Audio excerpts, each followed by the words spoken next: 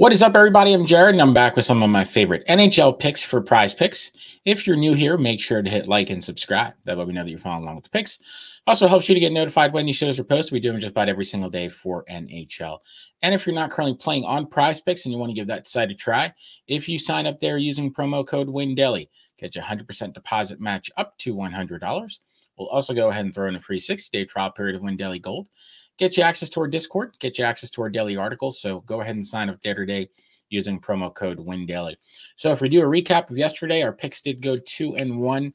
Uh, the only one that we missed was Matthew Tkachuk and his assist. Uh, Florida Panthers were a huge disappointment last night, only scoring one goal against the, the Flyers. Uh, if I had to do it again, I would still pick Matthew Tkachuk because it was a great matchup.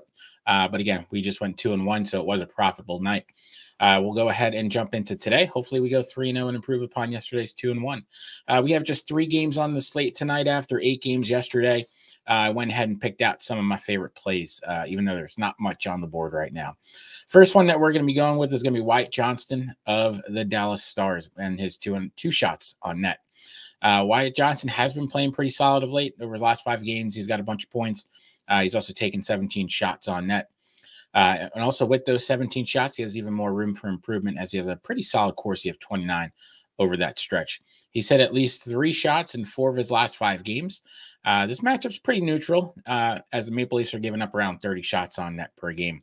Like this spot a lot for the kid. Like him to get his three shots. So we're going to go with the more for Wyatt Johnston. Next one that we're going to be going with is going to be going with Matt Boldy of the Minnesota Wild and his three and three shots on net. Uh, Minnesota Wild get just a, a, fantastic matchup tonight against the Blackhawks. This current Blackhawks team, they probably struggle in the AHL at this point. They're just so bad. Uh, they continue to play atrocious hockey over the last few weeks. They've given up uh, three and a half goals per game. They're also giving up more than 31 shots on net. Uh, sets up great for a guy like Boldy. Uh, Boldy's taken 11 shots over his last two games. Over his last f- five games, he also has a Corsi of 33. So he's taking a lot of shots on net. Not all of them are going through, uh, but a lot more should go through against a really bad Blackhawks team. I have him at five shots tonight, so we're going to go with the more for Matt Boldy. Last one that we're going to go with is we're actually going to go with the less. We're going to go with Philipp Kurashev of the Chicago Blackhawks and his half point. We're going to go with the less on this one. Wouldn't be surprised to see the Blackhawks shut out tonight. Uh, they've been shut out in four of their last six games since the middle of January. They've only had six goals. Just an anemic offense without the the wonder kid Bedard. Uh, we look at Philipp uh. He's got just 24 points through 43 games. He has one point over his last 10 games. Don't think anything changes for him tonight. I, I see him getting uh, shut out tonight. So we're going to go again with the less uh, for Kurashev and his half point. So if we do a recap of where we're going tonight, we're going to go with the over on the two shots for Wyatt Johnston. We're going to go with the over on the three shots for Matt Boldy, and we're going to go with the less for the half point for Kurashev.